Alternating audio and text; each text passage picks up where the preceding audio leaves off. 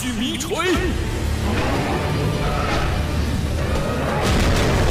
Появление братьев Танхао и Тансяо на поле боя – то еще зрелище. Когда Тансан сражался с золотым крокодилом и проигрывал, отец взял этого противника на себя. Битва Танхао и Золотого Крокодила достаточно интересная. Оба мастера очень сильны. Даже трудно сказать, у кого шансы выше. Танхао 97 ранга, но у него молот чистого неба и мощные техники. Золотой Крокодил на один уровень выше. Он 98 ранга, а значит духовные силы больше. К тому же Дух Крокодил славится как своей атакой, так и непробиваемой защитой. Но Танхао есть что ему противопоставить. Рожденный в клане чистого неба, он считался гением своего поколения вместе со старшим братом Тансяо. В возрасте 25 лет Танхао прошел двухлетнюю тренировку хаотичного покрова ударов молота, которую Тансан проходил на 40 ранге, а Танхао получил 49 ранг. В течение 5 лет его уровень поднялся с 50 на 60.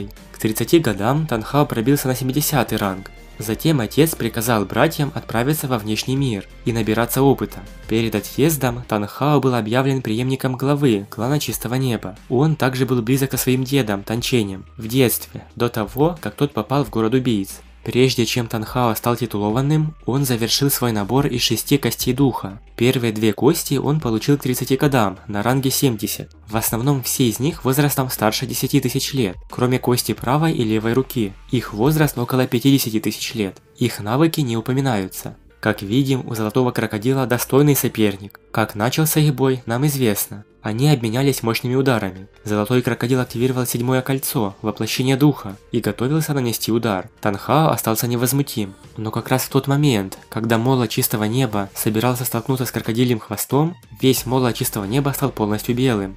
Обе стороны ударили вместе во второй раз. На этот раз Танхао не мог отбросить крокодиловый хвост, но и хвост не мог его поколебать. Танхао вскочил, прыгнув вперед с несравненно агрессивной манерой. Он подготовил три удара, которые с нарастающей силой били по золотому крокодилу. От первого удара до третьего Танхао не демонстрировал никаких лишних эмоций, но когда он объединил этот третий удар, он все еще был наполнен всеобъемлющей силой. Третий удар, направленный к голове противника сверху, был его воплощением духа, гигантским красным молотом чистого неба.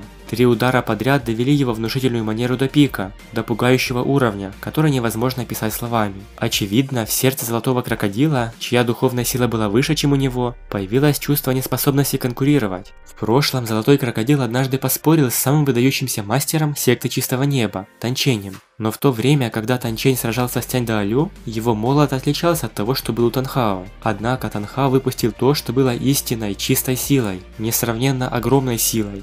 Наконец, титулованный крокодил не выдержал такого пикового давления. Тело крокодила мгновенно отступило. Его твердая голова сильно ударилась о бок молота чистого неба, а его тело было отброшено назад ударом, насильно взорванным в полете. В это время молот чистого неба не прекращал бомбардировать стены перевала Дзялин. Вспыхнул черный свет, и все пространство, казалось, содрогнулось. Когда Танха снова ударил, он был в два раза быстрее. Мощный взрыв, настолько громкий, что его было слышно за десятки километров, взорвал вершину перевала Дзялин. Смелый и безудержный черный свет разлетелся во все стороны, а на стенах перевала Дзялин, толщиной в 100 метров, с летящими камнями появился гигантский пролом 10-метровой глубины. Золотой крокодил вдруг понял, что его дух погас. Несмотря на то, что он приземлился целым и невредимым, когда он увидел гигантский молот и почувствовал властную ауру противника, он понял, что его сердце уже растаяло. Три удара Танхао не только потрясли Золотого Крокодила 98 ранга, но и потрясли все силы Духовной Империи. Даже если сила, которую он продемонстрировал, не была такой слепительной, как Трезубец Морского Бога Тансана, но та невиданная мощь и агрессивность Отца, казалось, была способна подавить все. Когда Танха забрал Тансана и отправился назад, все шесть великих жрецов 96 ранга и выше, которые находились на стене, не осмеливались их преследовать. В душе они уже проиграли, проиграли властной манере Танхао. Какой же крутой персонаж Танхао. Если вы тоже так считаете, напишите в комментариях. Спасибо большое за просмотр и всем пока.